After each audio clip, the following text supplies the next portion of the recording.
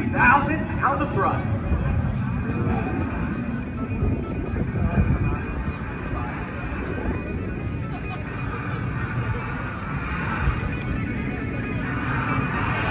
Ladies and gentlemen, get ready for the thunder because here comes the lightning.